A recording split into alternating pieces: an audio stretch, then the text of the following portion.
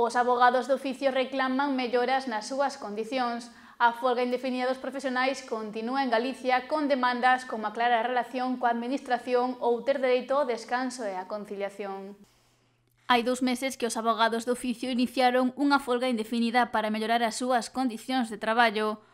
Fan demandas que o colectivo reivindica dende hai anos e que abranguen diferentes aspectos. A principal pasa pois, que se nos recoñece e regule que tipo de relación vincula o profesional da quenda do oficio, que a administración a día de hoxe pois non temos recoñecido ningún tipo de relación ni laboral, nin estatutaria, nin tampouco de tipo eh, funcionarial, por exemplo. Non? Entón, nos vemos que o tempo que estamos invertindo eh, facer esa prestación da asistencia xurídica gratuita nin se nos cotiza, nin tampouco se nos computa a ningún efecto proxecto, eh, pois, por exemplo, para un concurso oposición, como puidera ser. Outro dos puntos das súas reivindicacións é que todas as actuacións lle sexan recoñecidas e xa abonen. A día de hoxe vemos como no exercicio da nosa profesión pois eh, temos que, para facelo dun xeito eh, deontolóxico eh, correcto, eh, pois temos que presentar recursos ou facer certas actuacións que despois os colexo non as abona porque non está previsto no, no baremo que se abonen esas eh, actuacións. Tamén exiximos relacionado á cuestión económica pois que se actualizan os importes que nos, que nos abonen.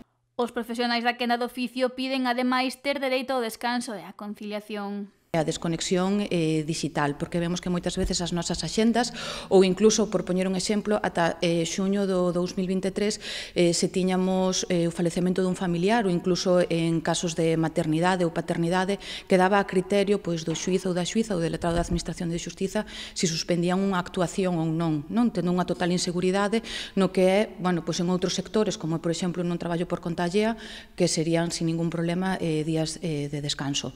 Actualmente na comarca do Barbanza, Muros e Noia, e eh, quitando situacións excepcionais, os profesionais da quenda de oficio son suficientes para cubrir os asuntos. Dende o que é o desenrolo propio da abogacía na quenda do oficio e baixo a miña experiencia persoal, eh, considero que os que estamos, bueno, pois eh, damos abasto ao, ao traballo que hai. Que pasa? Sí que hai moito traballo.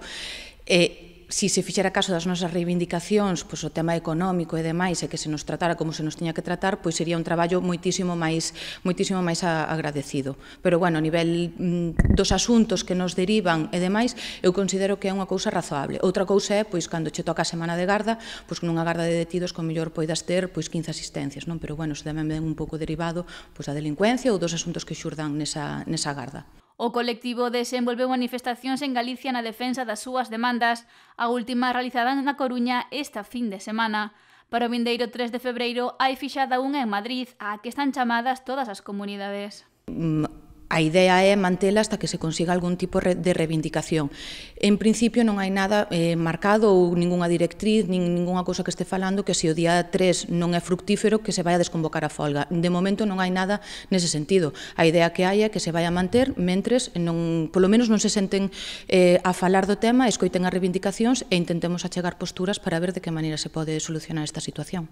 Hai certa polémica sobre a cuestión de se os abogados poden ou non acollerse o dereito á folga polo que derivado disto a autoridade laboral non sinalou uns servizos mínimos como tal, enda que o colectivo sí que os está a desempeñar que é verdade que por parte dos organizadores o que fixeron foi, bueno, pois unhas directrices eh, establecer pois esos servicios mínimos en déficit do que non fixo a administración, non?